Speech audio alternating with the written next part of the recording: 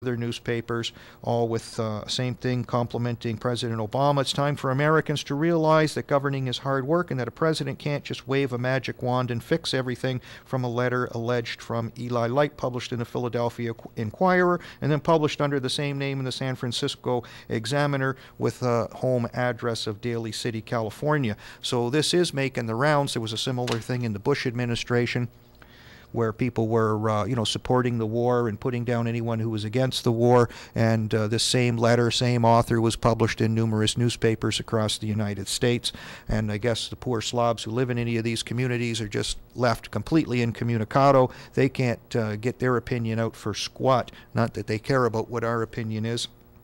There's some strange mine wars going on in South Africa. This I just find absolutely uh, bizarre. It's, you know, I don't know. There's large groups of so-called illegal miners, fighting going on in the mines, people killed secret entrances to the mines.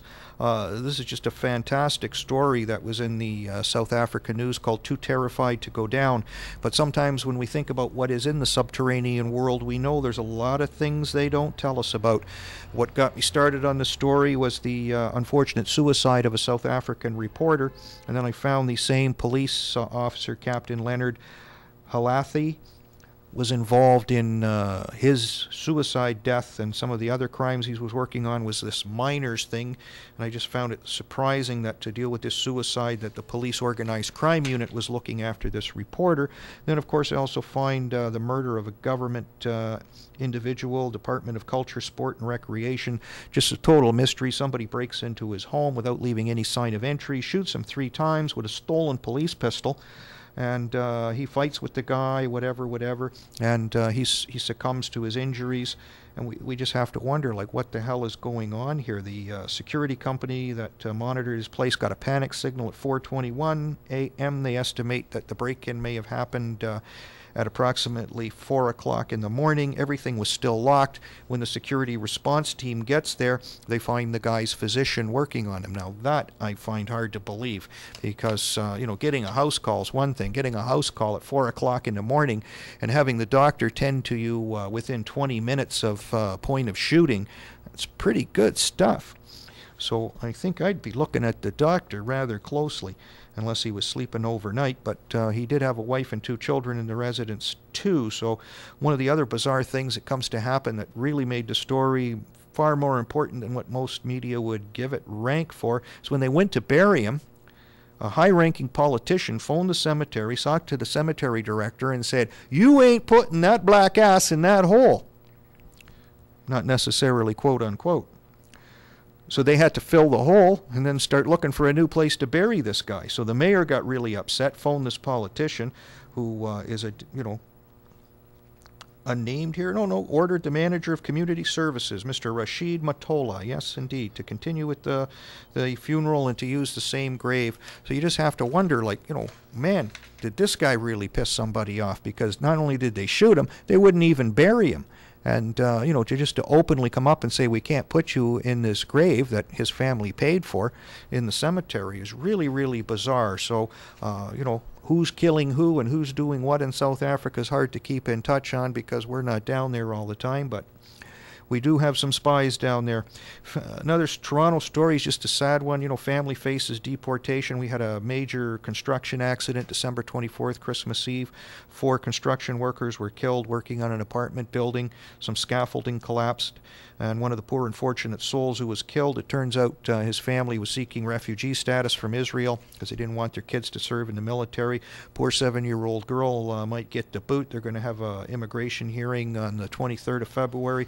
Just a a very, very sad story because this poor little child, seven years old, goes to daddy's grave every day, tells him, uh, he, you know, that she loves him and that he's okay and mommy's okay. Just one of those tearjerker stories. Like, you know, uh, I don't think we could have too much problem uh, making some room for these people. Like, if daddy can lose his life trying to uh, fix this country and build this country, uh, I don't see it such a big deal to uh, to keep his survivors behind. And, uh, you know, we would hope that the Minister of Immigration, if he isn't dodging missiles or pies, is man enough to, or if he even is a man, who knows, if uh, they're good enough to just allow this one to slide past. It's probably uh, well off. We got a big victory in the courts with raw milk. That's a big issue still in the United States, but a justice of the peace said uh, the people that were involved in this milk co-op are all co-owners of the cow and therefore allowed to uh, consume the raw milk. You know what a horrible thing that milk is. Uh, you know another weapon of mass destruction that our government has to keep from us. Terrible, uh, terrible, terrible, isn't it? Vancouver police go, uh, you know, mayhem here and, uh, you know, beat the living crap out of some guy. There's a domestic dispute late at night, 2 a.m. They go to the wrong door, knock on the door. Don't even identify themselves as police. Don't say that they're conducting an investigation in something. Don't even ask if he's the party that they are supposed to be dealing with. They just grab this guy and start beating the living crap out of him, busting his, uh, you know, eye socket bone and swelling him up like a melon. Maybe it's only because he was Chinese, but uh, you know he just happened to own the house and he rented out another part of the house. So frequently, a lot of homes are like that. You'd figure a great detective with the Vancouver Police Department, in fact, two great detectives with the Vancouver Police Department, might be able to figure that out. Or maybe they just didn't like his name Yahweh, which kind of sounds like God in the old language. Yahweh Wu is the victim in this, and I hope he sues us their ass off. But the other big thing is why are these people working in law enforcement? If you are a violent, racist bigot, totally un- it's just like you go into the doctor's office oh hi doc you know i got this pain the guy grabs you throws you on the table pulls out a scalpel and starts excising your organs isn't that like kind of getting it out of line, Doc? Like, you know, you're supposed to have a license and be a professional. Uh, you knock on the door, police, you know, we're here for a complaint. Guy opens the door. What's your name, sir? We're here for a complaint. And he tells you his name. You go, oh, gee, that's not the name we're supposed to look for. Do you know Mr. So and so? Yeah, he's my tenant. He lives next door. Ah, and you got to go to police college to learn how to do this. And then you get promoted to be a detective and you go to police college again to take, you know, specialty courses. Is it hard? We can find thugs from Africa to beat people up for probably 10 cents an hour. Some people probably do it for fun. We see the UN is abandoning the climate change deadline. Yippee! Even their own people are starting to smell a rat. Iran is sending the Fifth Fleet to the Gulf of Aden. It's just a rotation, so there's not a big deal there. Justices reject corporate spending limits, so now we can buy politicians far. Like if we had them on the stock market, that decision would mean something. You know what I mean? Like you could invest in your senator or your congressman like stock, and the fact that they uh, rejected the campaign spending limits means the value of that guy that you know somebody owns and has in his back pocket could go through the roof, and you could probably turn around the whole economy. They probably never thought about that. Put these idiots on the stock market because now we can bet on them. Is the drug companies going to go for this guy or is it going to be big oil? What about the banksters? Maybe they want to put some money into Congressman so or so, and we can bet on whether or not their value is going to go up as a tool of the big corporations. Or maybe someone just comes out of the blue, like just your average everyday billionaire you meet down at the store, and everything will change. We see the great laws they have in England and the police state going after a woman for having noisy sex. Like they were going to put her in jail for this. And when she does it again, they are going to put her in jail. So she gets 12 uh, months suspended sentence and a 12 month supervision order. Like, you know, I thought it was our own great Prime Minister Trudeau that says the state has no business in your bedroom. What are they going to put? Like a charm bracelet on her to monitor the decibel levels or something like that?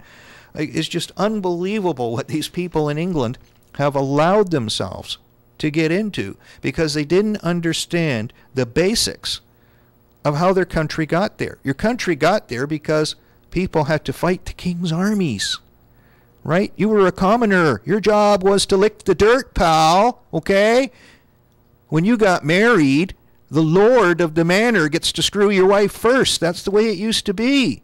And there was nothing you could say about it except get stabbed or hung or beaten.